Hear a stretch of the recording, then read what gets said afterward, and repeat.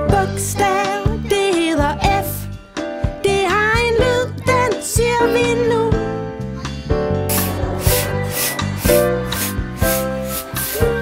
Og hvilke ord begynder med F?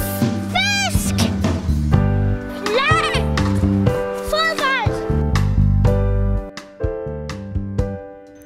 Her er et bogstav, det hedder L. Det har en lyd, den siger vi nu.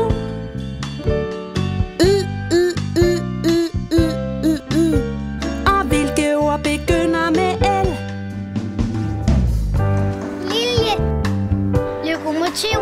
Lá.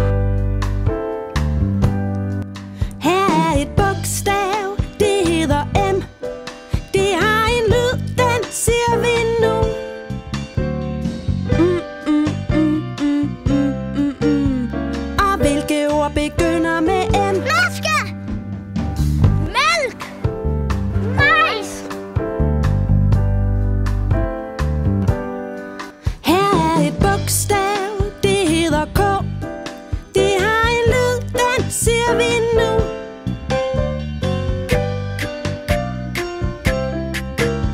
Og hvilke ord begynder med